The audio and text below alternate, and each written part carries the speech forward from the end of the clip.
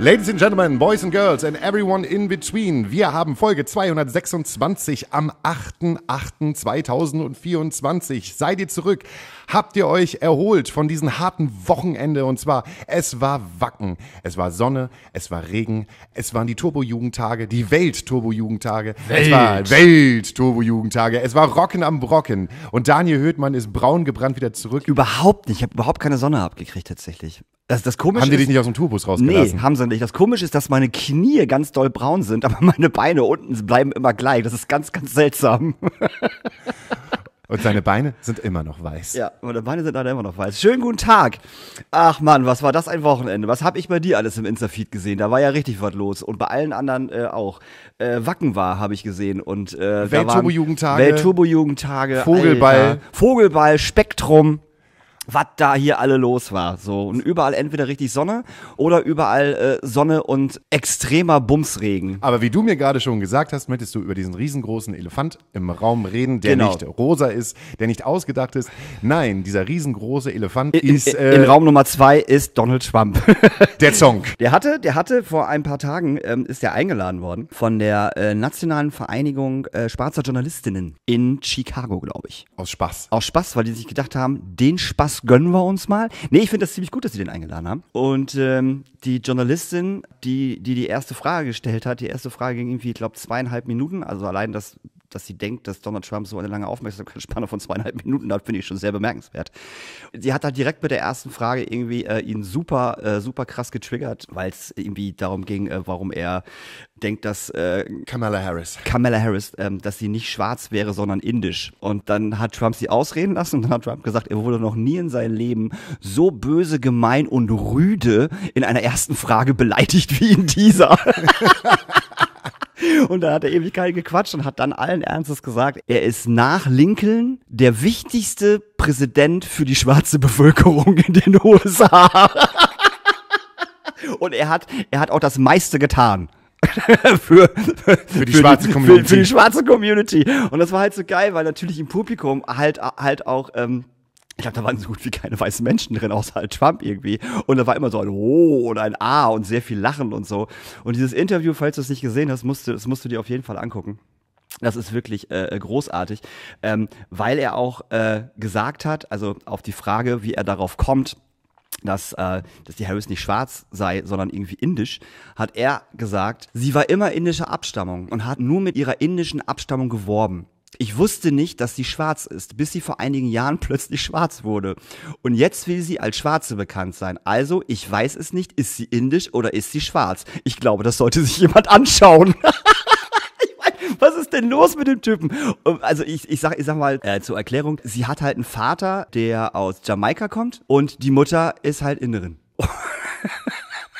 Aber was ist denn mit ihm los? Was ist denn, was ist denn da falsch, bitte? Was, Das sollten wir uns mal angucken. Das irgendjemand sollte sich mal dringend ihre Ethnie angucken, oder was? Oder wie? Sollen da irgendwelche Forscher kommen und rausfinden, so wie viel Prozent sie jetzt das und das ist, oder was? Ich weiß gar nicht, was los ist mit dir. Bist du im Politgame gefangen? Interessiert dich das jetzt gerade wirklich? Mhm. Ja, es Seit interessiert- wann interessiert dich eigentlich Politik so sehr? Es- was hier nein, in Deutschland passiert, das interessiert dich nicht. Nee, das aber ist, nee, nee Amerika, aber, weil, weil, weil ich einfach glaube, dass sie, wie sie jetzt auch agiert, und ich habe jetzt, ich glaube, ich weiß nicht, wie viele Interviews ich mir von ihr angeguckt habe, ähm, ich glaube, die kann das bringen. Ich glaube, die schafft es. Ernsthaft.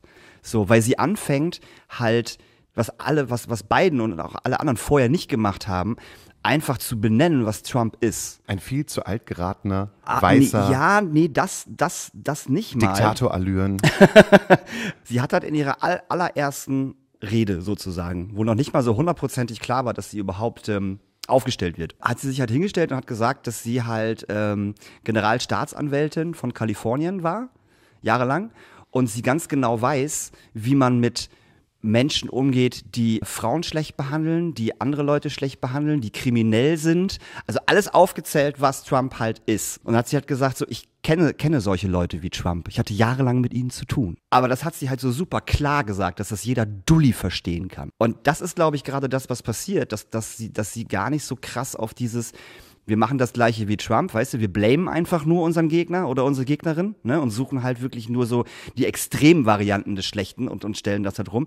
Sie benennt einfach ganz genau, was Trump ist, aber das halt nicht auf eine asoziale Kackweise, sondern einfach auf eine Weise, die jeder versteht. Und das finde ich geil. Unabhängig davon, das ist ja auch das Interessante, deshalb wirkt das Ganze halt auch wie eine große Folge Game of Thrones oder House of the Dragons mit all Oder House of Cards. Oder House of Cards mit all den Intrigen.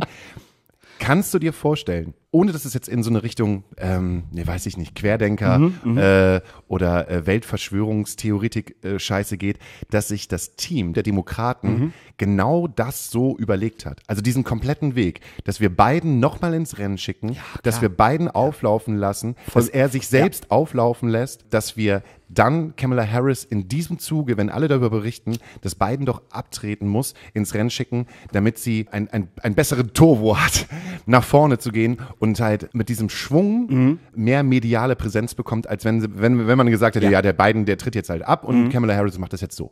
Auf jeden Fall. Das wirkt, das wirkt ich so wirklich unfassbar inszeniert das und so gut. So gut inszeniert vor Oder allen Dingen so gut inszeniert, weil egal wo ich jetzt gerade ähm, lese, ähm, Politik, USA, Kamala Harris, es sind nur positive Ja. Kritiken, Ja. Umfragen, all das, was jetzt da gerade los ist, ist halt so, äh, Kamala Harris zieht an Donald Trump vorbei. Wie kann äh, Donald Trump Kamala Harris noch stoppen? Ja. Es ist so, Ja. es wirkt so gestaged. Also ich glaube halt, dass es von langer Hand auf jeden Fall gibt. Und das hat, ich finde auch, das hat nichts mit, mit dieser schlimmen Verschwörungstheorie zu tun, also mit so Schwurbler-Scheiße, sondern ich glaube wirklich, dass die das von langer Hand geplant haben. Also ich glaube nicht, dass die beiden extra nochmal gesagt haben, so mein, mein, mein guter Freund, jetzt tu mal wirklich so, als wärst du richtig dumm. Das wär, also weißt du, das hier, also du weißt, dass das nicht Putin ist. Aber es würde uns mega helfen, wenn du vielleicht einfach sagst, dass es Putin wäre. Weil wir haben, wir planen, wir sind da was am Plan dran. Ach so, ihr wollt, dass ich ein bisschen alterssenil wirke. Noch mehr. Das kann ich. Ja, ich glaube das schon. Ich glaube nicht, dass, das, dass die das erst in den letzten drei, drei vier Wochen da irgendwie äh, äh, zusammen gebastelt haben. Das glaube ich nicht. Ich glaube auch, das ist, ist äh, von, Von langer Hand Aber es ist voll gut, Mann. So, äh, die zieht, glaube ich, die richtigen Leute ran. Und wenn ich mir angucke auf, auf Instagram ähm, und auf TikTok vor allen Dingen, wie viele MusikerInnen und SchauspielerInnen und Künstler schaffende Menschen sich gerade auch mit ihr ablichten. Das ist ja das Geile. Sie ist ja voll nah. So, also mit wie vielen Leuten sie sich einfach jetzt getroffen hat und TikToks gemacht hat. Also mit wie vielen, mit wie vielen Künstlerinnen und so. Das ist total krass.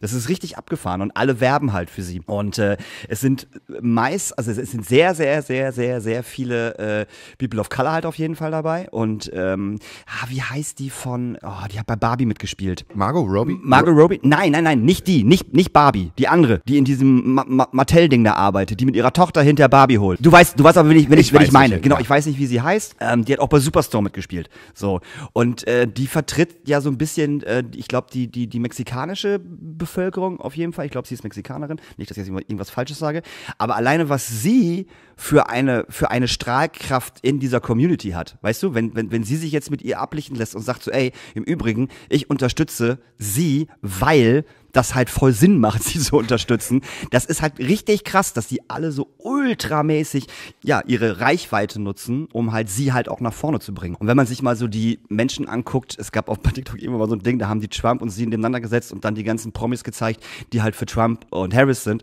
Und bei Trump sind da halt so Leute dabei, wo du echt denkst so, ja, das macht halt total Sinn. Also Hulk Hogan zum Beispiel, Jean-Claude Van Damme. Jean-Claude Van Damme? Wo ich denke, Alter, du bist nicht mal, ist der überhaupt Amerikaner? Kommt der nicht aus Frankreich? Was ist denn los? Ich dachte, er wäre im Herzen Holländer. ja, dachte ich auch. Aber er hat halt nur so Dulli-Idioten, weißt Er hat halt wirklich nur so, so, so Dulli-Deppen da, wo ich echt denke so, ja, okay. Ich meine, Wisst klar. ihr, wen ich auf meiner Seite habe? Die Expendables. ja, genau so. Und dann wird Sylvester Stallone sagen, äh, nee, Trump hast du nicht.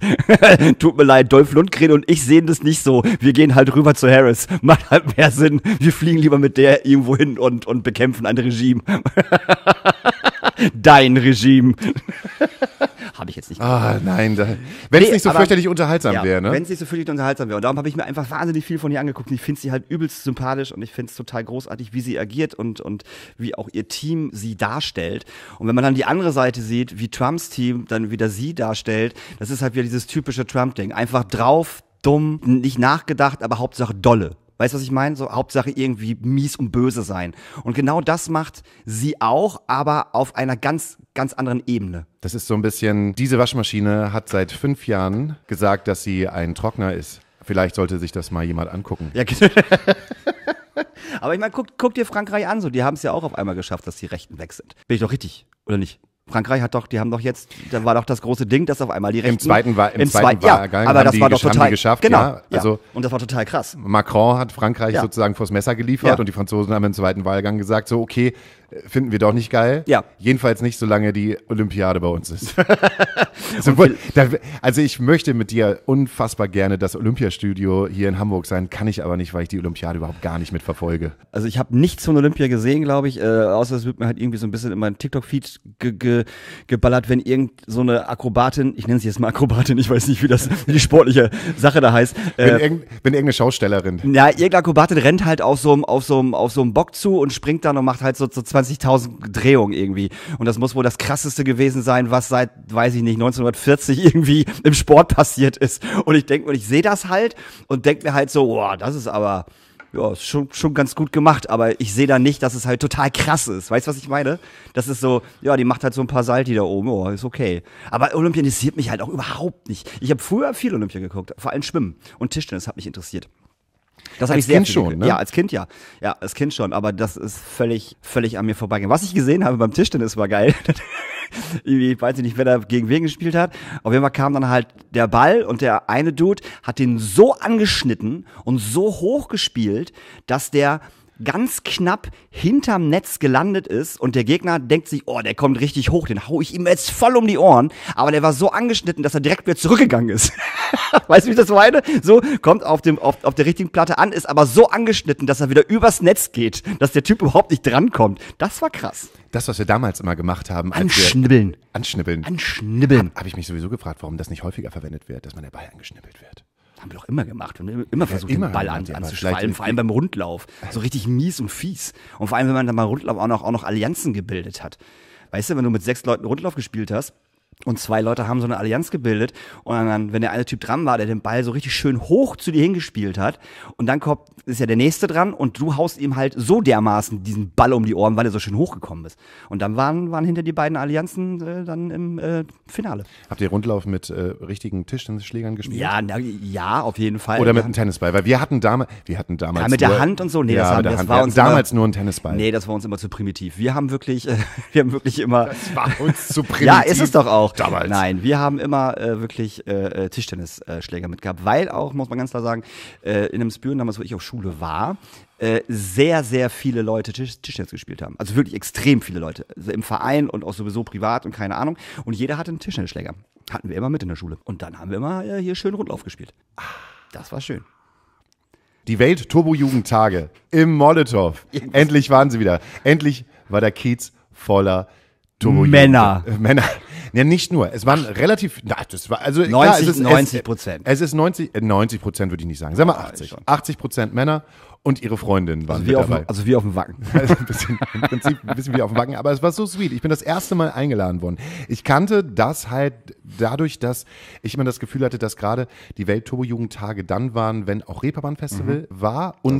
weiß ich früher war sozusagen deren ähm, Place to be das Schlemmereck. Mhm. Das Schlemmereck auf dem Hamburger Berg. Da, da haben sich irgendwie alle getroffen. Das gibt's leider nicht Mhm. mehr. Es ist so eine alte Kiezkneipe gewesen. Da ist jetzt eine Shisha-Bar drinne, glaube ich. Äh, Kiosk, Bubble- Shisha-Bar. Bubble Tea, was Bubble auch Tea Bar immer. und so. Aber ähm, äh, Arne von, den, äh, von, von der Turbo-Jugend hier in Hamburg hat sich gedacht, äh, und das auch schon seit längern, ich weiß gar nicht, wie, wie lange es die denn schon gibt oder wie lange Die er waren schon früher immer im ausrichtet. Grünspan. Ja, und jetzt machen die es halt im Molotow und das war eine ganz sweete Veranstaltung. Du hast vollkommen recht, es war eine sehr weiße, cis-männliche Veranstaltung mit ganz vielen betrunkenen Menschen, aber aus aller Welt Mhm. und alle waren irgendwie gleich sweet zueinander. Mhm. Also ich habe ein bisschen gedacht, so, hm, ich fühle mich doch so mit als jüngste Person, die hier gerade vor Ort ist, mit dem, ohne Kutte, aber ähm, alle waren unfassbar nett und freundlich zu mir. Also es gab überhaupt gar nichts, wo ich, wo ich jetzt gedacht hätte, "Na, das, das würde man heutzutage aber nicht mehr machen in meiner Vogue-Bubble, sondern alle, es war, das ist eine Bubble und es war eine mega sweete Bubble und ich war drei Tage da und es waren, Du warst drei Tage Ich da? war drei Alter, was ist Tage denn mit dir los? Ja, ich wurde drei Tage, ja, eigentlich waren es ja vier Tage, aber ich war eingeladen und am Donnerstag habe ich halt den kompletten Tag halt mitgemacht, äh, habe mir die Bands angeguckt, habe mit denen getrunken, war sogar noch im Uwe, weil im Uwe war, weil, war die Aftershow-Party, wo es keinen DJ gab, sondern es gab nur Karaoke. Und ähm, ich will noch nicht mal sagen, es war besonders gutes Karaoke. Es war eher so dieses Karaoke, was man, was man kennt von, von How I Met Your Mother. Kannst du dich noch an die Folge erinnern, wo Ted ähm, darüber spricht, wie, er, wie es ist, wenn er eigentlich betrunken rappt und singt und er dieses Bild von sich Mic hat. drop. Mic Drop und es voll krass ist. Und dann sieht man die Realität, wo es total schrecklich ist und man denkt einfach so, bitte halt Hör den Mund. auf. Bitte halt. Ja, und sagen wir mal so, zu 95 Prozent war diese Karaoke halt mehr so, aber ich habe mir es mir nicht nehmen, la äh, nehmen lassen, äh, selber mitzumachen. Was hast du gesungen?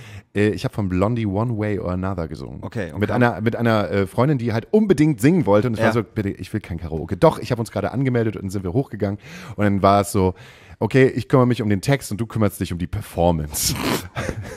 und danach ist auch noch einer zu mir angekommen und meinte halt einfach so, ey, ey, du solltest wirklich singen. Das ist voll krass. ja, danke schön.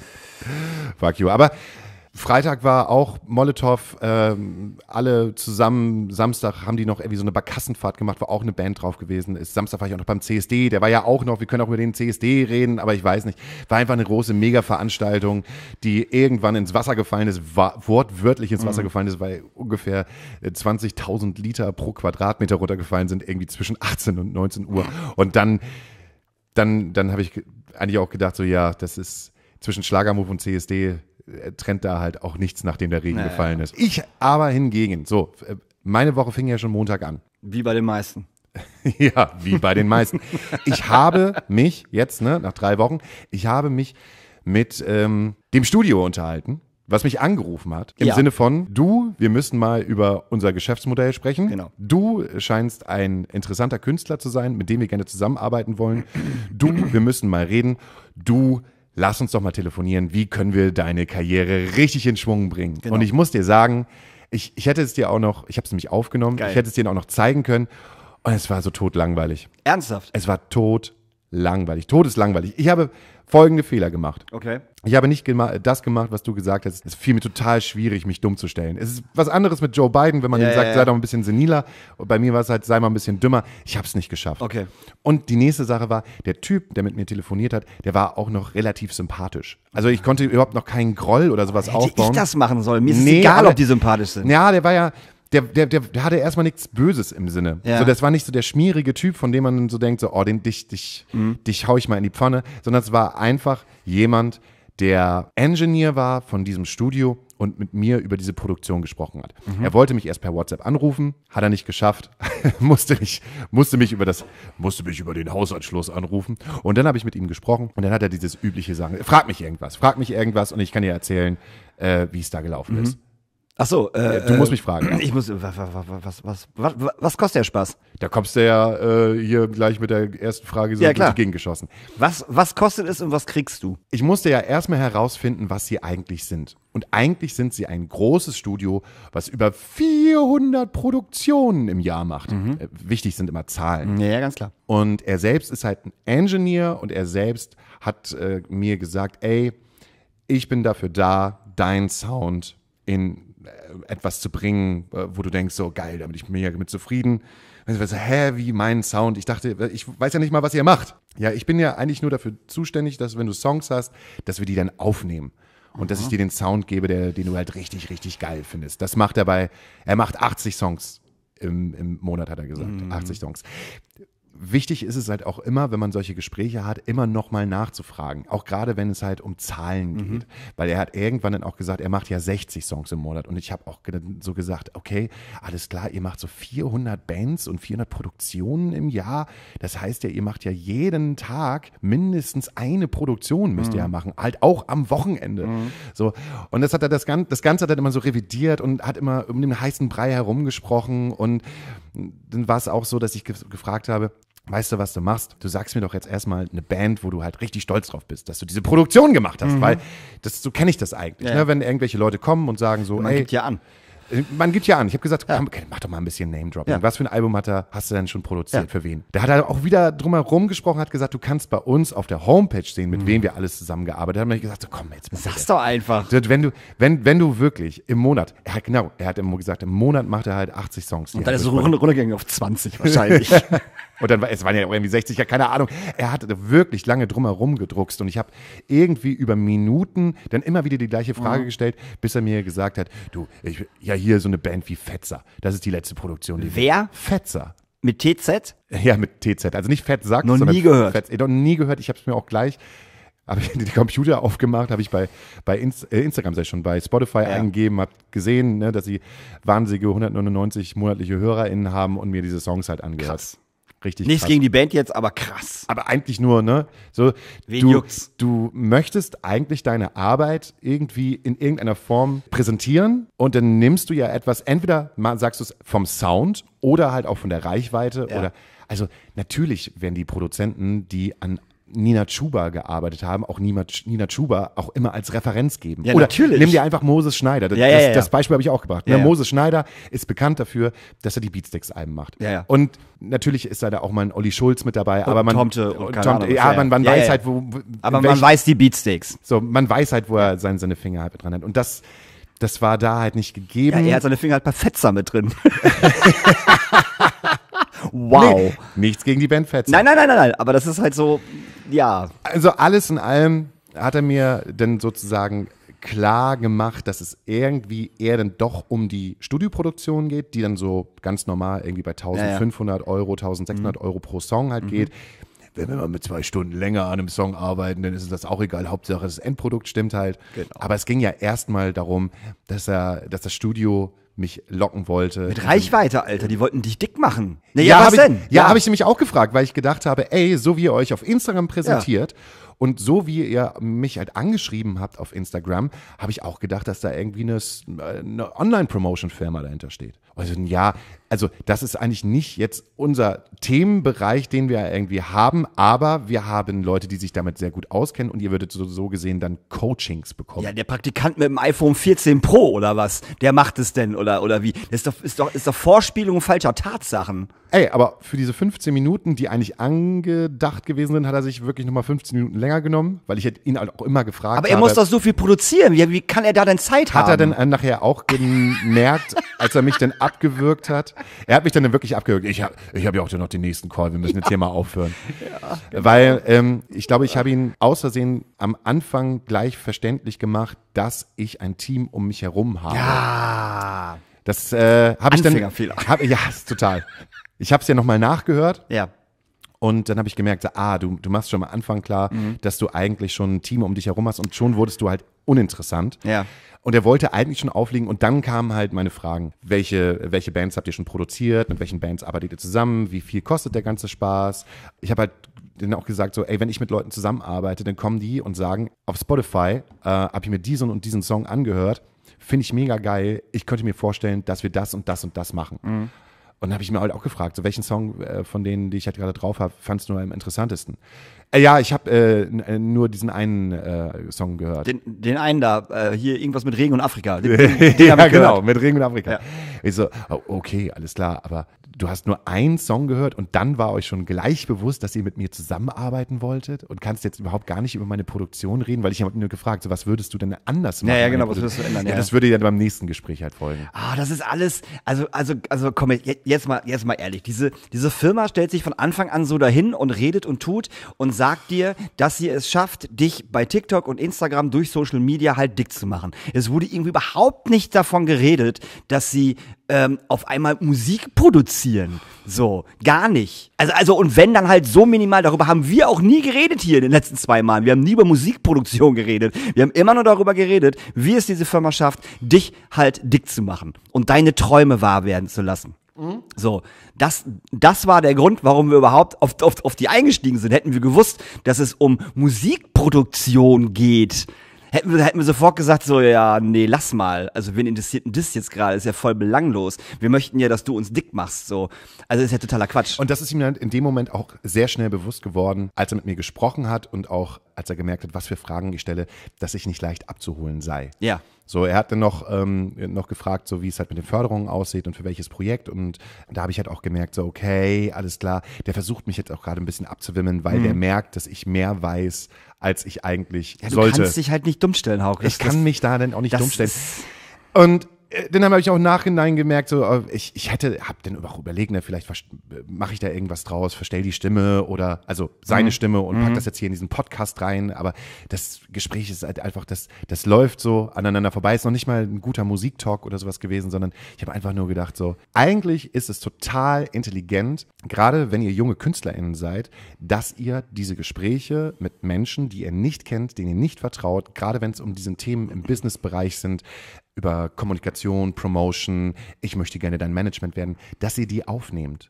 und dann nochmal hört. Weil im Gespräch selber ist man immer so vertieft und Leute, die leicht manipulieren können, setzen bestimmte Cues, dass du dich wohlfühlst und dass du ein gutes Gefühl hast. Das hat er mich auch versucht, ne? Weil am Anfang, ne, so, ja, ey, geile, also geiler Song, geile Produktion, haben wir uns halt auch gefragt, wie so eine Produktion halt äh, nicht so viel Aufmerksamkeit auf Instagram erreicht. So der, gleich, gleich so dieses, dieses Love-Bombing, gleich so dieses, hey, und dann machen wir noch und kannst du nicht vorstellen, das und dass man das aufnimmt und dann am Ende sich dann nochmal anhört, um wirklich mal auf die, die objektiven Fakten zu gucken. Was können die mir anbieten? Was wollen die eigentlich? Welche Reichweite haben die? Welche Erfahrung haben sie? Wie arbeiten sie eigentlich? Und mal zu schauen, außerhalb dieser ganzen Komplimente und dieses ganzen Love-Bombings, was bietet mir diese Firma, mit der ich zusammenarbeiten will? Wenn ich ehrlich bin, dass mir das jetzt auch erst mit 42 auffällt, dass es total intelligent ist, äh, das hätte mir auf jeden Fall ähm, die eine oder andere Mark erspart. Weil äh, ich erzähle jetzt mal was, ähm, weil Daniel halt auch einen Namen kennt, müsste Daniel jetzt auch mir zuspielen und ich versuche das Ganze ohne Namen zu nennen, okay. ähm, als Information hier in den Podcast hineinlaufen zu lassen. Okay. Sagen wir mal so, ähm, ich äh, komme aus einer Band, die mal betreut worden ist. Betreut äh, von außen. Mit Informationen und mit Ratschlägen von außen. Von einem Menschen, den wir bezahlt haben. Von einem Menschen, der auch dafür gesorgt haben, dass wir eine Initiative Musikförderung bekommen haben für das vorletzte Album. Diese Initiative Musikförderung war relativ hoch. Ich glaube, so, dass wir mit unserem Eigenanteil und dem, was wir von der Initiative Musik bekommen haben, ich glaube, da waren so zwischen 40 und 45.000 Euro mit im Spiel, was eigentlich relativ viel, viel Geld ist. Ich meine, andere Leute kaufen sich da ein Auto für oder, be- oder zahlen halt ihre Wohnung für an oder was kannst du mit 45.000 Euro alles machen? Ganz viel Red Bull kaufen. ganz viel Red Bull kaufen, legen das an, aber da sind bestimmt HörerInnen, die sagen so, what, so viel Geld? Und ich sage, ja, so viel Geld, aber so viel Geld ist auch leicht weg. Und ich kann nur sagen, dass wir damals halt beraten worden sind, zu einer Promotion-Firma zu gehen. Weil eine beratende Person gesagt hat, es ist wichtig, dass ihr in der heutigen Zeit eine Beratung bekommt über Social Media. Für mich war das damals irgendwie vollkommen klar. Ich meine, das ist jetzt auch schon fünf Jahre her, fast, dass das sein muss. Weil, wenn jetzt was geht, dann geht's halt über Social Media. Und habe einfach so viel Vertrauen gehabt, dass ich über 50 Prozent von dem, was wir von der Initiative Musik als Förderung bekommen haben, äh, gesagt habe, das geben wir jetzt dieser Promotion-Firma. Jetzt kannst du mal fragen, was die Leistungen dafür gewesen sind. Hauke, was waren denn die Leistungen dafür? Also wir hatten ein Erstgespräch. Und dieses Erstgespräch basierte sehr auf Vertrauen, weil jemand gesagt hat, das ist eine gute Firma und, und Sympathie, weil die Person, die mit uns gearbeitet hat, die in dieser Social Media Firma gearbeitet hat, sehr sympathisch war, die hat die gleiche Musik gehört, die kannte auch das Album, hat da reingehört und man hat wirklich gemerkt, da ist jemand da, der sich mit dieser Band auseinandergesetzt hat, was mir erstmal ein gutes Gefühl gegeben hat und was irgendwie, wo ich gedacht habe, geil, da interessiert sich ja wirklich jemand für die Musik, die wir halt gerade machen und ist halt on point dabei zu sagen, das bringen wir nach oben. Die nächste Situation war nach diesem Erstgespräch, wo wir uns entschieden haben, das zu machen, war, wir bauen einen Redaktionsplan auf. Redaktionsplan heißt, was könnten wir denn für bestimmte Release an Social Media Content machen. Das war auch vollkommen okay. Man hatte immer jemanden, mit dem man sich halt irgendwie auseinandersetzt. Aber Frage ist dann so, okay, von wem kam der Social Media Content? Von euch. Richtig. Das heißt sozusagen alles, was wir aufgebaut haben, diese schicken Werbevideos Mhm. äh, und äh, all das, was halt sozusagen der Content an sich war, den haben wir gebaut. Mhm. Dann könnte man denken, ja, okay, äh, was kommt denn da noch? Ich weiß gerade nicht, wo es hingehen soll. Ich bin ganz ehrlich, ich bin gerade ein bisschen verwirrt. Moment, ich muss jetzt, ich muss jetzt irgendwie, irgendwie klarkommen. Also diese Firma, ich weiß auch, ich bin, ich bin auch gerade nicht so drin, dass ich irgendwie weiß, worum es gerade geht, muss ich ganz ehrlich sagen. Entweder bin ich alt geworden, habe es einfach vergessen und du hast es mir bestimmt erzählt, worum es geht. Und wenn wir gleich jetzt, jetzt weiterreden, weiß ich das auch wieder. Also im Endeffekt habt ihr eine Promotion-Firma engagiert und habt den 45.000 Euro in Rachen geschoben. Nope, die Hälfte. Uns wurde auch noch gesagt, es wäre sogar besser, wenn wir mehr als äh, die Hälfte geben. Ja. Also je mehr Geld wir geben, Ja. desto besser können wir natürlich betreut werden. Okay, alles klar. Aber im Endeffekt habt ihr die ganze Arbeit gemacht. Im Endeffekt kommt der Content von uns selbst. Genau, ihr habt alles gemacht. Also diese Videos, diese Videos und, und designt und keine Ahnung und bla. Also das, was ihr vorher auch schon gemacht habt, habt ihr sowieso schon gemacht. Das haben wir sowieso schon gemacht. Okay. Und dann habt ihr das rübergegeben oder habt ihr das auch selber gepostet? Am Anfang war es so, dass wir es selber gepostet haben, beziehungsweise ähm, gab es ein System, wo es eingepflegt werden konnte, Ja. sozusagen wie ein, Von der Firma. von der Firma, Ja. wie ein Kalender, Ja. so dass das alles zur gleichen Zeit, Ja, wann auch immer, von dort aus äh, gepostet werden konnte. Aber ihr habt selber gemacht. Aber wir haben den äh, Content natürlich selber erstellt. Und die Firma hat dann was gemacht? Gar nichts oder was? Jetzt die große Frage. Aber wir die müssen, dann, die wir müssen haben doch, dann die müssen es doch, ver, die müssen es doch verbreiten irgendwie. Aber die müssen doch irgend, die müssen doch irgendeine Gegenleistung geben. nach, das wäre dann sozusagen, du schaltest eine Werbung auf etwas. Okay. Ne? Und wenn du eine Werbung auf etwas schaltest, schal- sagen wir mal, ich glaube, damals hieß es nicht mehr noch nicht Meta, da, damals war es halt Facebook und damals Ja. war es Instagram, bauen die eine Kampagne für dich halt auf. Ja. Ähm, sie, sie gucken äh, in die Analytics Mhm. und schauen, wo können wir denn das Werbebudget aufteilen, dass äh, man die größtmögliche Reichweite bekommt. Mhm. Frage ist, glaubst du, dass in diesen mehr als 20.000 Euro das Werbebudget schon mit drin gewesen ist? Ja, wahrscheinlich ja nicht. Nein, das ist, kommt auch noch on top drauf. Hä, aber was? Aber jetzt, jetzt sagt doch mal, was haben die denn gemacht? Was hat diese Firma denn gemacht? Ihr habt den 20.000 Euro in Rachen geschoben und was haben die, was haben die gemacht mit den 20.000 20.000 Uns ein Euro? Jahr lang betreut. Ja, aber was haben sie denn gemacht? Das war nämlich dann die große Frage irgendwann halt nach, nach einem halben Jahr von mir, eigentlich schon nach drei Monaten. Wir haben einen Vertrag unterzeichnet vorher, Ja. haben ähm, Vorkasse gemacht, damit sie arbeiten können. Ja. Und nach drei Monaten, beziehungsweise nach der ersten Single, habe ich schon gesagt, so, ey, irgendwie, was passiert hier eigentlich? Also der Content kommt von uns, die Ideen kommen im großen Teil von uns. Ja. Äh, Das Einzige, was wir machen, wir schieben euch den Content rüber und ihr platziert den dann, aber das Werbebudget muss ja auch von uns kommen. Ja. Wofür geben wir denn gerade so viel Geld aus? Und Was so, dass ich nach einem halben Jahr dann, dann auch gedacht, äh, also gesagt habe, weil ich mich mit der, mit der Person, die uns betreut hat, trotzdem immer noch sehr gut verstanden habe, Mhm. aber auch die Frage gestellt habe, ey, ganz ehrlich, 20.000 Euro. Ich könnte mir einen Praktikanten einstellen, der die ganze Zeit mit dem Handy hinter mir herläuft. Mhm. Und dem ich halt im Monat 1500 Euro gebe. Da habe ich ja mehr von, als gerade von Was- dem, was ihr macht. was, was hier Ja. halt gerade passiert. Und es wird eigentlich immer nur hin und her gedruckst. Mhm. Ja, wir könnten euch ein neues Tool anbieten. Naja, aber ihr seid ja mit euren Ideen ja immer so weit. Also wir können euch ja gar keine neuen Ideen geben. Ihr blockiert ja auch schon, wenn wir irgendwelche anderen Ideen halt reinbringen. Mhm. So war halt so, so ein bisschen die Aussage. Und man sagt so, ja, nee, aber wir haben ja, wir haben ja feste Contentpläne, Mhm. die wir auch schon selber am Anfang durchgegangen sind. Warum? Wir blockieren halt nichts von euch. Das war am Ende sind irgendwann so, dass ich gedacht habe, dass es wahrscheinlich, dass eine beratende Person ein sogenanntes, einen Kickback bekommen hat. Weißt du, was Mhm. ein Kickback ist? Ein Kickback ist, du vermittelst einen Kunden an eine andere Person Und kriegst Kohle dafür. und kriegst Kohle dafür. Ja. Und, das war nach einem halben Jahr genau meine Frage. Ey, die beratende Person, die für uns zuständig sind, hat die, hat die einen Kickback von euch bekommen? ja. Weil äh, Aus den 20.000 Euro natürlich, den- die ihr bezahlt habt. Genau, aus den ja, na klar. 20.000 Euro. Ja, ja, so und so viel Prozent. so und so viel Ja. Prozent habt, habt ihr dafür einen Kickback Provision im Ja, ich weiß nicht so richtig. Also auch da wurde wieder Ja, ja, ja, rumgedruckst. okay. Und es war dann so am Ende, dass dieser Vertrag, den wir halt miteinander gehabt haben, dass ich den anfechten wollte. Mhm. Und die beratende Person hat dann gesagt, ja, wir können da nicht mit dem Anwalt gegengehen, weil sie ja im Prinzip ja schon geliefert haben. Und es ist ja auch im Prinzip nicht ganz klar, ob ihr damit erfolgreich seid. Und nachher kostet euch der Anwalt bzw. das Verfahren Mhm. viel mehr Geld als das, was ihr da reingegeben habt. Und so saßen wir auf jeden Fall und haben die Hälfte unserer ganzen Kohle an ein Unternehmen gegeben, was für Social Media zuständig gewesen ist, die uns im Nachhinein nichts gebracht haben, außer Lehrgeld. 20.000. 20.000 Euro Lehrgeld. Es gab dann noch so Situationen, wo ich am Ende dann angefangen habe, mit dem Anwalt zu drohen Mhm. und wo die gesagt haben, okay, das und das Budget ist jetzt noch übrig, wir packen das jetzt auf die nächste oder auf die letzte Single, packen wir das da drauf, ähm, so dass wir dann wieder cool miteinander Mhm. Ja. sind und, und safe. Und es war halt einfach so, ey, aber ganz ehrlich, wie habt ihr denn 20.000 Euro verbraten für was? Ja, vor allem haben die denn wenigstens, habt, habt ihr denn wenigstens irgendwie gesehen, wenn ihr was, also wenn, wenn ihr eine Single rausgebracht habt und, und, und diese Werbung, habt ihr dann mehr, mehr Leute erreicht? Da kommt natürlich drauf an, wie viel Werbung du geschalten, geschaltet hast. Das konntest du ja im Nachhinein nicht nachvollziehen oder nicht wirklich nachvollziehen, weil du in diesem Game dann nicht drin gesteckt hast, so im Sinne von, so was ist da eigentlich alles passiert. Du bekommst halt Reportings, du bekommst halt Zahlen, wo du aber als Laie überhaupt erstmal gar nichts mit anfangen kannst. Aber die, die Promotion, die du gestartet hast, die hast du ja natürlich auch selber bezahlt. Ja. Jetzt guckst du so, ne? Und denkst halt, was? Ja, genau so habe ich dann auch geguckt. Ja. Also du stehst dann da und denkst halt einfach so, wow, wir haben so viel Geld zur Verfügung, was könnte man mitmachen? Könnte man nur diesen einen Song promoten oder ähm, stecken wir so viel Geld in eine Single rein und die zieht sozusagen alles mit?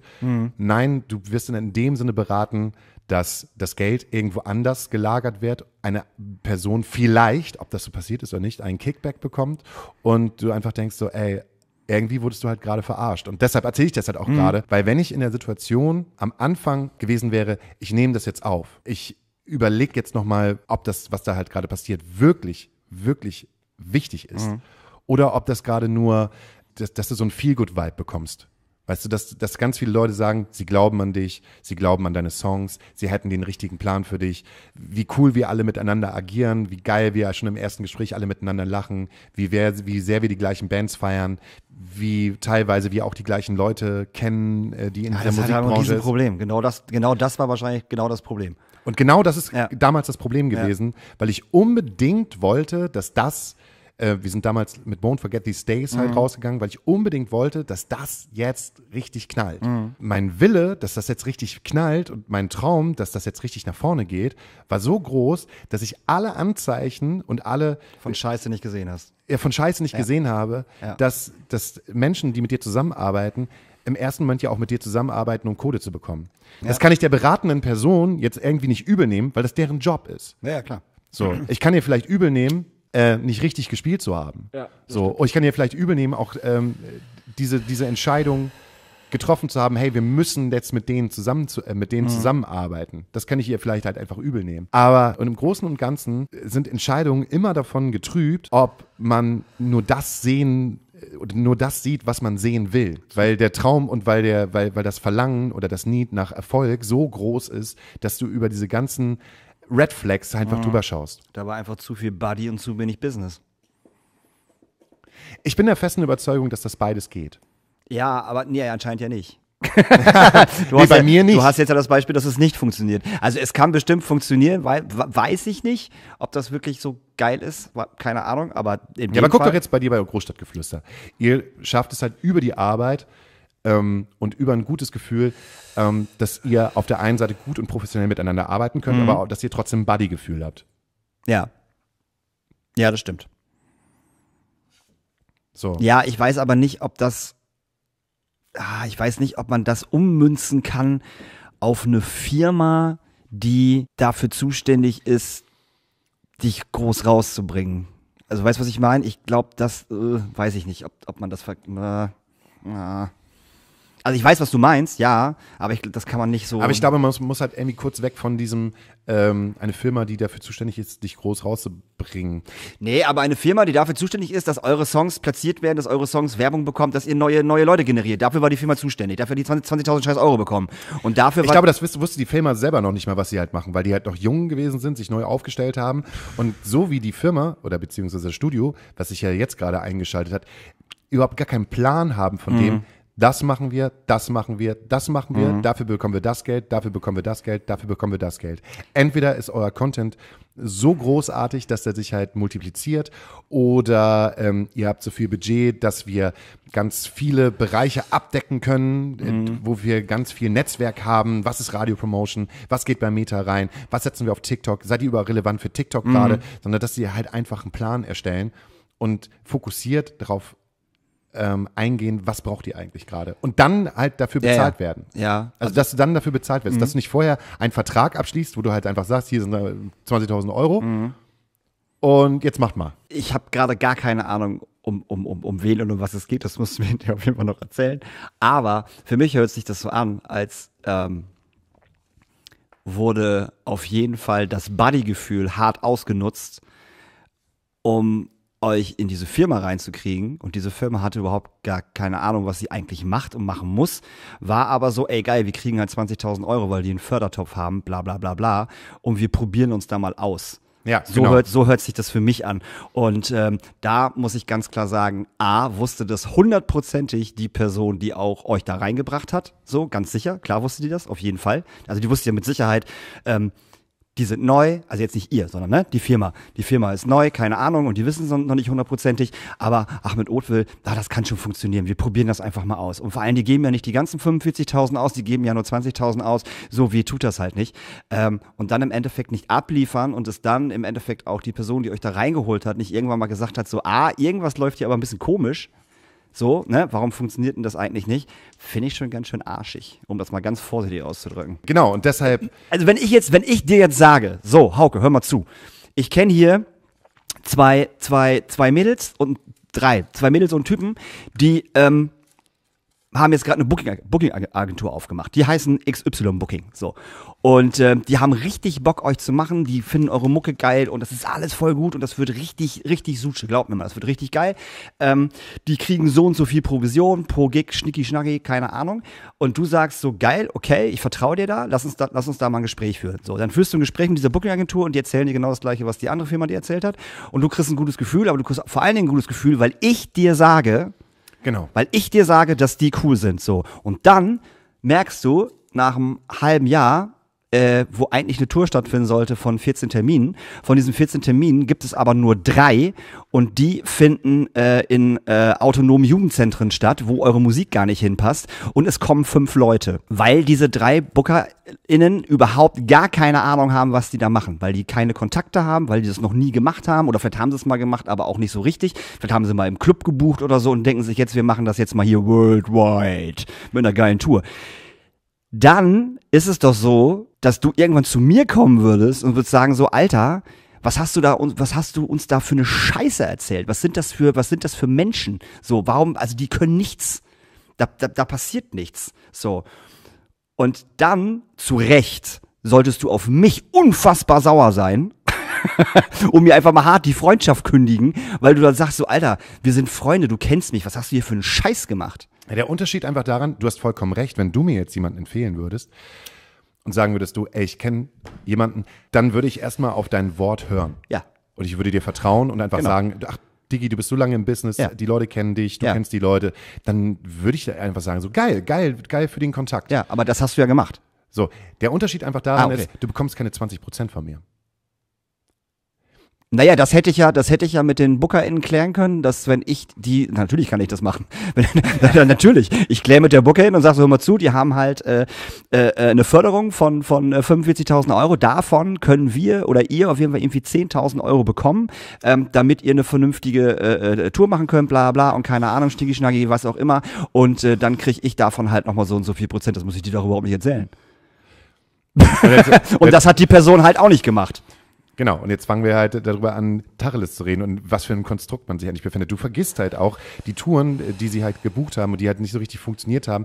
Das ist die eine Sache. Ich selber bringe ja noch ganz viele Kontakte mit und habe ja noch zwei bis drei Festivals, wo Ja. ich auch ein relativ gutes Genau. Geld bekomme, Ja, ja. wovon sie aber dann 20 Prozent haben Genau, würden. die kommen finde trotzdem rein, genau. Die würden. Dann würde ich jetzt sagen so, ey, wie kann das eigentlich sein?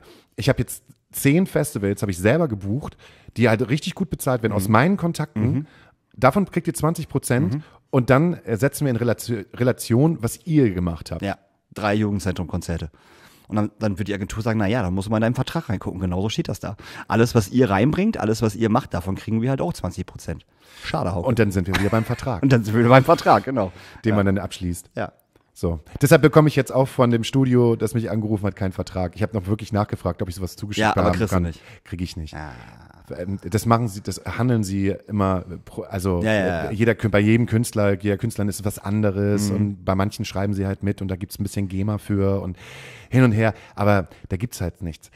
Deshalb noch einmal, äh, damit hier ein gewisser Mehrwert aus diesem sehr, sag mal, sehr vagen Gespräch rauskommt, ist, das ist ein verficktes Haifischbecken und es gibt so viele schwarze Schafe, gerade wenn es darum geht, ähm, Euch ey, das Geld aus der Tasche zu ziehen.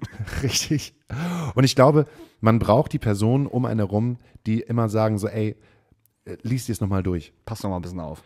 Pass doch mal ein bisschen auf. Mhm. Ähm, willst du die jetzt gerade buchen, weil sie dir Honig ums Maul schmieren? Mhm. Oder willst du die gerade buchen, weil die schon Leistungen gebracht haben? Ob das dann halt passiert, also ob du dir so eine alteingesessene Agentur nimmst und dann da Geld für bezahlst, das ne, es kann ja. immer trotzdem noch sein, dass es nicht funktioniert. So, es ist immer unterschiedlich. Ja. So. Aber gerade gerade so, ah, gerade bei solchen Sachen denke ich halt immer so aus der Erfahrung heraus. Ich habe so, ich habe so viel verficktes Lehrgeld bezahlt in meinem verfickten Leben. Ja, wahrscheinlich wie 80 Prozent aller, aller anderen Bands auch. In eurer Größe. Das, das, das hat ja jeder durch irgendwie. Mit Sicherheit. Ich habe mal mit dem Bassisten von ähm, Halloween gesprochen, Mhm. in, in der alten Liebe, und ein 90 Minuten Gespräch, wo der dann auch sagte, ey, weißt du was, wir haben so viel Geld in den 80er Jahren verdient, was wir nicht gesehen haben. Mhm. Ähm, wenn, du, wenn du nicht einmal dein Label verklagt hast und nicht einmal vor Gericht standest, bist du auch kein richtiger Musiker. Das ist ja, das ist ungefähr wie äh, die Doku von, ähm, ich, er heißt Ron Perlman, oder? Nee, heißt er Ron Perlman? Ron Perlman hat auf jeden Fall ähm, NSYNC und Backstreet Boys gemacht. Nee, der ist es nicht. Nee, Lou Perlman heißt Lou er. Ron, Pearlman. Ron Perlman ist, ein, ist ein Schauspieler. Ist, ist Hellboy. Lou, genau, schon. Nee, also es ist nicht Hellboy. Äh, die Doku von Lou Pearlman äh, auf Netflix, äh, wo es darum geht, wie er äh, äh, so ein Schneeballsystem aufgebaut hat. Großartige Doku angucken, wie er so ein Schneeballsystem aufgebaut hat ähm, und damit im Endeffekt angefangen hat, äh, ähm, Bands zu, zu, zu promoten und aus den Künstlern zu machen. Und äh, NSYNC sich irgendwann so nach zehn Monaten gefragt haben, nachdem sie irgendwie nur gespielt haben und nur Geld gescheffelt haben, angeblich, wo dann das ganze Geld hin ist. Und er dann irgendwann gesagt hat, so, ja, lass uns mal treffen, lass uns mal zusammensetzen. Und dann hat jeder von NSYNC einfach 10.000 Euro bekommen mit einem Scheck. Handgeld. Handgeld, so. Und das Geile war, er hat sich vertraglich als äh, sechstes Mitglied bei den Backstreet Boys und bei NSYNC mit reinschreiben lassen. Dementsprechend hat er nicht nur seine Provision bekommen, weißt du, sondern er hat auch noch das Geld bekommen als sechstes Bandmitglied. und er hat ja vorher ähm, äh, Flugzeuge gehabt, im Endeffekt. Der war irgendwie Flugzeugdude und hat Flugzeuge vermietet, was hinterher aber auch alles irgendwie so sehr schwammig war. Und er hat sich so ein Schneeballsystem aufgebaut, in dem er Kohle von Flugzeugsachen äh, bekommen hat, die hat er dann wieder irgendwo anders in eine Bank reingesteckt, hat sich dann einen Kredit geholt und wenn der Kredit weg war, ist er dann zur, zur nächsten Bank gegangen, hat sich wieder einen Kredit geholt und hat damit den alten abbezahlt. Weißt du, so ein komplettes Schneeballsystem, was dann irgendwann völlig in sich zusammengebrochen ist und ähm, äh, Schaut euch die, die Doku an, die, die ist auf, auf, auf jeden Fall sehr gut. Aber so ungefähr hört sich das dann halt Oder an. schaut euch jede dritte YouTube-Werbung an, die ich halt reinbekomme. Ja, oder macht das, genau, ja, das ist. Äh, Wisst ihr, früher war ich ein fetter Kerl in einem Rollstuhl. Ja, und jetzt setze ich mich, setze ich mich auf den Stuhl und äh, äh, mach äh, auf dem Stuhl drei Monate lang äh, hier Übungen und sehe halt aus wie äh, Jean-Claude Van Damme. Ja, herzlichen Glückwunsch, funktioniert nicht, habe ich gemacht. Geht nicht. Ja, das ist quatschi. Ja. Ja, aber das Ding ist, das Ding ist gelutscht. Also ich, ich glaube, ich werde ihm, er hatte noch gesagt, wenn du, wenn du Bock hast, können wir das ganze Gespräch nochmal vertiefen.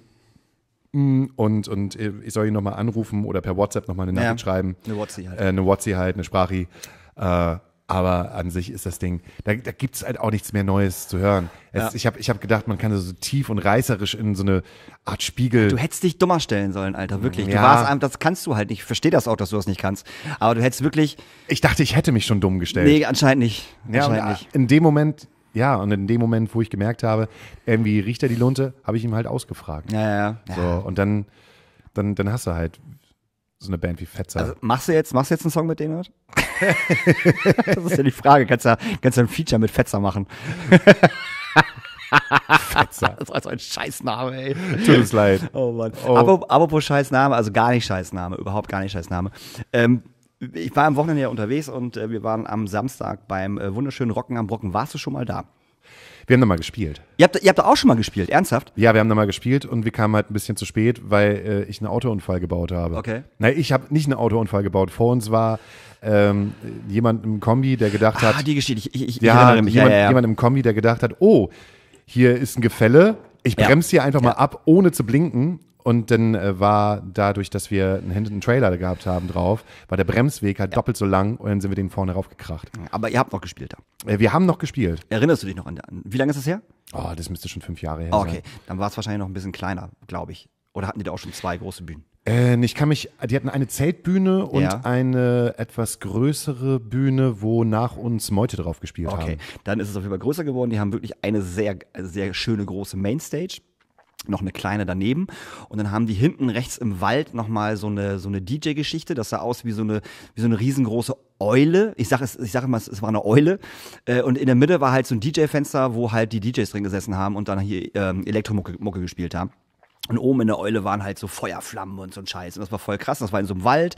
Äh, dann gab's links noch irgendwie eine Bühne, auch in so einem Wäldchen. Und das ganze Gelände hatte so riesengroße ähm, Lampenschirme auf so Holzpfähle.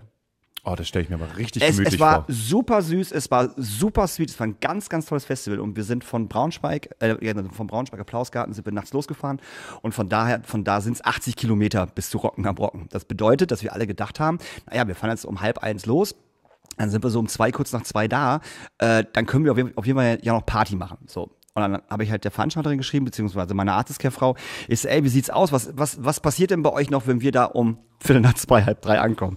Und sagte sie so, ja, da haben wir noch äh, Elektro und Indie-Disco. Die ist so, geil, Indie-Disco. Das ist ja super. Äh, wir sind dann und dann da. Wäre voll schön, wenn wir schon direkt parken können, wenn du uns auch schon Bändchen geben kannst. Vielleicht hast du auch noch, auch noch ein paar Getränkemarken für uns, dass wir, nicht, dass wir nichts bezahlen müssen. Ja, ja, ja, kriegen wir alles hin. So, dementsprechend sind wir von Braunschweig losgefahren und ich kenne mich ja. Wenn der Nightliner losfährt und äh, ich, ich müde bin, dann lege ich mich ins Bett und penne. Also konnte ich das halt nicht machen, dann wäre ich nicht wieder aufgestanden. Dementsprechend habe ich angefangen zu trinken. Alkohol. Alkohol. Ich habe Alkohol getrunken. Ich habe Wodka getrunken. Und wir hatten eine äh, Nine Miles Flasche. Hei äh, Nine Miles heißt der Wodka so? Äh, Kenn ich nicht. Ja, das ist, äh, das ist irgendwie so ein Wodka. Und den haben wir halt getrunken. Und irgendwann saß Jen, unsere großartige Sängerin, vor mir und hat ähm, unten im, im, äh, in, an der Bauchflasche unten sozusagen einen, einen Knopf gedrückt und dann ging ein Strobolicht in diesem, in diesem Wodka. An alle anderen, die das hören, denken sich, "Ey, bist du doof, Tanja? Klar macht es das. Ich wusste es nicht. Ich habe geguckt wie ein Kind an Weihnachten, wenn der Weihnachtsbaum angeht. so habe ich geguckt. Es war großartig. Dementsprechend habe ich mich da, äh, haben wir uns da betrunken, dann sind wir da angekommen und wir waren alle relativ äh, angeschickert und sind dann noch auf die Indie-Party gegangen. Äh, und wir standen da und haben dann, wollten dann Getränke bestellen. So, und dann habe ich gesagt, so, hey, ich hätte gern äh, einen Wodka Red Bull. Und dann hat er gesagt, ah, leider haben wir keinen Wodka mehr. Ich so, ah, das ist aber auch scheiße. Ich so, was machen wir denn jetzt? Und er so, naja, trinkst es einfach mit Gin. Ich so, ja, ich mag aber keinen Gin. Ja, da machst du einfach Red Bull mit Gin. Da schmeckst du den Gin nicht. Ich so, das ist eine hervorragende Idee. Dachte ich. Es schmeckte total lecker, weil es einfach nur nach Red Bull geschmeckt hat. Und dann haben wir bei dieser Indie-Party getanzt und das war alles ganz schön. Unser, unser äh, ähm, äh, Nightliner-Fahrer Tom war mit dabei, unser Lichtmann Pascal war dabei und äh, Jan war dabei, Ria war dabei. Und dann standen wir halt so im Matsch, weil es hat einen Tag vorher geregnet. Und dann standen wir im Matsch und haben halt auf diese Indie-Party getanzt und haben uns noch schön einen reingestellt. Das war ein richtig schöner, richtig schöner Abend. Anderen Tag bin ich aufgestanden und da war es dann nicht mehr so schön, weil ich halt um halb fünf im Bett war und um acht Uhr bin ich schon wieder wach geworden. Während Senile Bettflucht Genau. eines Tourmanagers. und mir ging's den ganzen Tag nicht so gut, nicht, nicht ganz so gut. Und ich sage mal so, du kennst mich, wenn ich einen Kater habe, bei mir kommt dann sehr viel ungefiltert raus. Also es wird, es ja, wird. du bist unerträglich dann. nee, äh, ja, nee. Äh, Doch, ich finde, du bist unerträglich. Okay, wenn, das wenn, fanden die anderen jetzt nicht. Die haben, fanden das eher sehr lustig. Ähm, ich war trotzdem immer noch, immer noch total süß, aber alles, was ich gesagt habe, kam sehr ungefiltert raus. Und ähm, Ria musste mir zwei, dreimal ist sie zu meinem Ohr gekommen und hat gesagt: so, Daniel, das musst du leiser sagen, das kam gerade sehr ungefiltert raus. Ähm, es war ein, ein, ein sehr harter Tag, weil ich wirklich böse, böse gekatert habe und dann war es auch noch so richtig warm. Und äh, dann hat aber also wir standen dann auf der Bühne, haben gesagt, ey, wir sind Großstadtgeflüster und können wir schon mal so ein paar Sachen klären, haben wir so ein paar Sachen geklärt. Und dann kam auf einmal so ein Typ an und sagte so, ey, ähm, bleibt euer Nightliner da stehen? Und ich so, ja, der bleibt da stehen. Okay, cool. Ich muss daneben noch einen Nightliner stellen. Ich so, hä, es kommt doch keiner mehr mit einem Nightliner. Er so, doch, doch, doch, die Tiny Wolves kommen mit einem die Nightliner. Tiny Wolves. Ich so, wer? Er so, ja, die Tiny Wolves. Und dann kam unsere Künstlerbetreuer an und sagte so, ah, kennst du die nicht? Ich so, nee, was ist denn das? Er sie so, ja, das ist ein Kinderchor, bestehend aus äh, 40 kleinen Mädels. Ich glaube, ein Junge war dabei, glaube ich. Ich glaube, zwischen sechs und acht, so ist die Range. Und ein musikalischer Leiter, also ein Typ mit Gitarre. So. Und die kommen jetzt gleich mit, mit dem Reisebus an und mit, mit, mit ihren Eltern und die kriegen im Catering halt irgendwie äh, Apfelschorle und Chicken McNuggets. und ich so, wie, die kriegen Chicken McNuggets, will ich auch. Und ähm, dann, haben, dann sind die angekommen, es war alles total süß, die hatten alle, alle so die gleichen T-Shirts an und so und waren total aufgeregt. Da waren noch ein paar Eltern mit, die das Ganze noch so ein bisschen mit betreut haben und so. Und die liefen dann halt da im Backstage rum. Ich so, ja, denk mir so, was, ne, was soll das schon passieren? Was sollen die da irgendwie schon großartig machen? Und ähm, dann haben wir uns den Soundcheck angeguckt, durch Zufall, weil wir gerade irgendwas am, am FOH gemacht haben. Und dann stehen da halt so 40 kleine, kleine, kleine Menschen auf der Bühne und fangen auf einmal an, einen Soundcheck zu machen. Und das war wunderschön. Also das war, die haben einfach Songs genommen, ob das jetzt Coldplay war oder äh, Betteroff, die haben zwei Songs von Betteroff einfach gecovert. Dussmann und äh, Platz am Fenster heißt er, glaube ich. Ähm, und das war wunderschön. Wir haben gesagt, okay, das müssen wir uns angucken. Und dann stand eine Mutter vor uns und die sagte, weil wir standen da schon so halb Tränen in den Augen, weil das halt so süß war. Und meinte die Mutter so, ja, wartet mal, wenn die spielen, der letzte Song ist Fix You. Und ich so, und wir, wir alle vier so, oh Gott, Fix You ist eh schon so ultra traurig. Und wenn jetzt auch noch von Kindern gesungen wird, so, oh mein Gott. Und sie meinte, bei dem letzten Ding war es wohl so, dass da, wo mehrere Leute mit Slipknot-T-Shirts standen auf irgendeinem anderen Festival, so, so, so Männer halt auf so einem Metal-Festival, die bei dem Song alle geheult haben wie Babys. Und dann haben wir uns diese Show angeguckt und nicht nur wir haben uns diese Show angeguckt, auch äh, der Sänger von Team Scheiße hat sich diese Show angeguckt, weil die einfach KV, nee, Karstadt, Karstadt, Karstadt-Detektiv. genau, einfach gecovert haben. Von Team Scheiße. Und das war einfach so, okay, was passiert hier gerade? Und wie gesagt, Betteroff haben sie gecovert und, und ähm, Luftbahn von, von Deichkind, äh, ein Song von Materia, da haben sie hinten noch dran äh, Schönheit der Chance mit reingenommen von Tomte. Und, und also das war einfach der absolute Wahnsinn. Also wer irgendwie, ich wünsche mir auch direkt einen Song von äh, äh, Tiny Wolves auf die äh, äh, die Spotify-Playlist. auf- die sind auf Die haben einen Song auf Spotify, auf Spotify Free Fallen von ähm, Tom Petty. Und die haben jetzt ein Album aufgenommen, was man auch kaufen konnte, also kommen bald neue Songs. Und die spielen am 18.08. spielen die im Knust Nein. mit den Hansemädchen zusammen. Und ich kann wirklich nur jedem empfehlen, sich das anzugucken. Das ist herzallerliebst, das ist herzzerreißend. Wenn ihr mal wirklich wieder fröhlich sein wollt, aber gleichzeitig weinen wollt, geht ihr bitte dahin, weil das unfassbar schön ist und diese Mädels so einen Bock haben und so einfach so ein Rockstar-Leben leben. Die haben Tag vorher haben die auf dem Apple Tree Garden gespielt. Das ist halt voll krass, das ist halt total gut. Und der Typ, der, der musikalische, mir fällt der Name nicht ein, es tut mir total leid. Ähm, der musikalische Leiter, der halt im Endeffekt äh, Gitarre spielt, und das ist nur ein Typ, der spielt so Cajon. Ähm, der geht auch so süß mit den Kindern um. Weißt du, also der redet auch einfach total süß mit denen. Und wenn halt irgendwie was, was falsch läuft, wird das halt total süß verpackt. Und nicht, also, ne, das war alles, da war so viel Liebe auf dieser Bühne.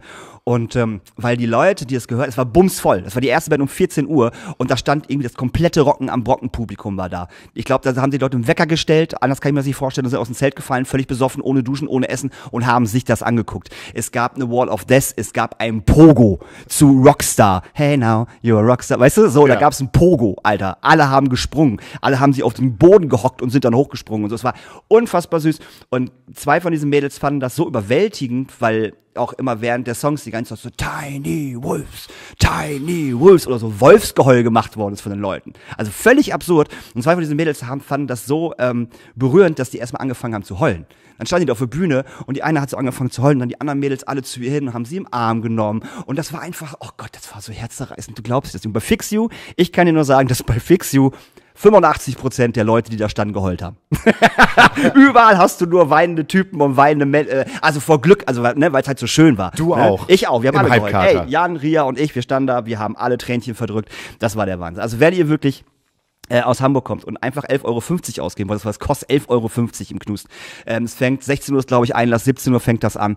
Ähm, kauft euch bitte Tickets, macht das Knust voll, weil die haben das echt verdient. Guckt euch Tiny Wolves und die Hansemädchen, auch die Hansemädchen, großartig im Übrigen, kannte ich vorher nicht, habe ich mir angehört, finde ich geil. Ähm, guckt euch das bitte an, weil das wirklich der absolute Hammer ist. Also ich gehe auf jeden Fall dorthin und werde mir das nochmal reinziehen. Kauft dir ein Ticket, Alter, 11,50 Euro. Bin ich, bin ich mit dabei. Wann? Ey, wann? Ähm, 18.8. ist ein Sonntag. Da hast du nichts zu tun. Ja, siehste. Das ist ein Sonntag. Ja. So. Äh, aber Rocken am Brocken war total geil. Äh, es hat super Bock gemacht. Ähm, wir haben äh, vor Disaster gespielt. Ja. Äh, es war bumsvoll. Es war also ein legend, also ohne Witz, es war ein legendäres Konzert. Weil das Publikum halt so dermaßen hart Bock hatte. Also die sind direkt beim, beim Intro bei Ketchup, äh, war irgendwie bis hinterm FOH sind die gesprungen. Das war total krass. Und auf einmal hat es nach 40 Minuten so, oder 50 so dermaßen angefangen zu pissen. Also wirklich, das war, das war absurd. Und wir hatten vielleicht einen Anteil von 20 Prozent der Leute, die abgehauen sind. Und die anderen haben einfach noch eine Stunde Mitgefeiert. also auf 45 Minuten sind die da geblieben im strömenden Regen. Wir hatten Leute, die Bauchklatscher in Schlamm gemacht haben. Es wurden extra Wall of, Wall of Desk, also alles sind auseinandergegangen, damit Leute im Schlamm halt springen konnten. Es gab Ratschläge, Crowdsurfen und whatever. Es war absurd. Also wirklich, die ganze Bühne war komplett nass vorne. Du musst alles nach vorne schieben. Und die Stage-Leute waren nur am, am Abdecken von allen möglichen Sachen. Den Leuten war das scheißegal. Die haben gefeiert bis zum verfickten letzten Song. Also das Konzert war wirklich legendär. Ach, Daniel, du hast den Sommer deines Lebens, war. Ja, der Sommer ist bis jetzt ziemlich gut, auf jeden Fall. Tja. Da sagen wir einfach mal, was haben wir aus dieser Folge gelernt? Äh, Fahrt alle zum Brocken am Brocken, hört euch Tiny Wolves an, äh, vertraut keinen Leuten über 40? über 40, auch nicht, wenn die Leute über 40 eure Freunde sind. Äh, was haben wir noch gelernt? Turbo-Jugendtage sind gar nicht so schlimm, wie man sie, wie man sie, wie, wie man gedacht hatte, obwohl ich trotzdem nicht hingehen würde. ist ein Hort der Das ist ein Kommunikation. Wort der Kommunikation. Also kommt immer drauf an, in welcher Form die Kommunikation läuft. Ja. Sagen wir so, es wurde viel Bier getrunken und ich glaube, deren Bestand vom Molotow an Bayreuther Bier wurde schon am Freitag getilgt. Ist es so? Ja. Ich glaube, die waren sehr überfordert damit, wie viel Bier eigentlich gesoffen wird. Die taten mir allen auch wirklich leid, alle Mädels da hinterm Tresen. Weil die Leute, die halt irgendwie zwei Tage hintereinander gearbeitet haben, die sahen alle auch wirklich aus, als wenn die zwei Tage ohne Schlaf gearbeitet hätten. Ach du Scheiße. Ei, ei, ei, ei. Ja, ist gar kein Problem. Also, angenehm. Die- wir haben achso, eine sorry. fantastische Playlist. Genau, die da heißt Astra Colada Nachtasyl. Und da wünschen wir uns immer großartige Songs drauf. Tiny Wolf. Und ich wünsche mir auf jeden Fall Tiny Wolves mit äh, Free Fallen. Dann wünsche ich mir auch wegen Tiny Wolves ähm, vom Better auf Platz am Fenster. Äh, und ich wünsche mir von Wilson Phillips Hold On. Großartig. Hört, hört alle wieder Wilson Phillips. Welcher Song ist denn das mit Warte, Hold On? warte. Nicht anmachen. Nicht anmachen? Ach, Nee, schade. se- Selber singen. Nee, selber singen kann ich eh nicht. Nicht anmachen, selber singen. Ähm, ich ich, ich habe einfach nur gerade ein bisschen Billie Eilish. Okay. Ich habe jetzt gerade einfach nur ein bisschen Billie Eilish. Das ist äh, auch so eine Newcomer-Künstlerin.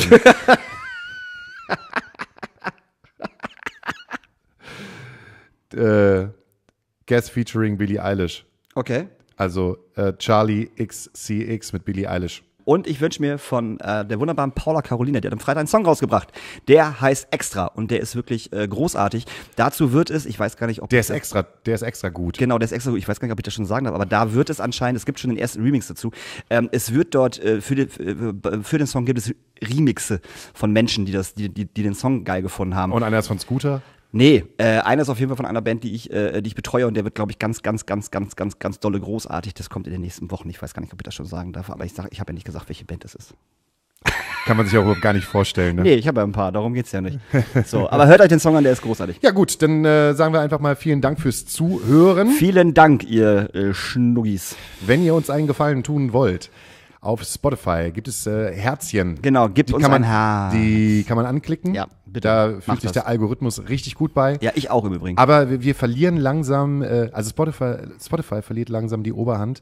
Wir haben sehr viele Menschen, die uns auf äh, Apple Apple Podcast hören. Oh, okay, wir haben schön. sehr viele Ähm, Apple hallo Podcast Apple Podcast-Hörer Also in- Platz zwei wird gerade hart verteidigt. Wegge Amazon Prime wurde weggestoßen. Okay. Platz zwei ist jetzt Apple. Ja, hallo Apple-User. Schönen guten Tag. Genau. Wir hören uns nächste Woche, ihr Lieben. Wir Tschüss. sehen uns nächste Woche. Tschüss.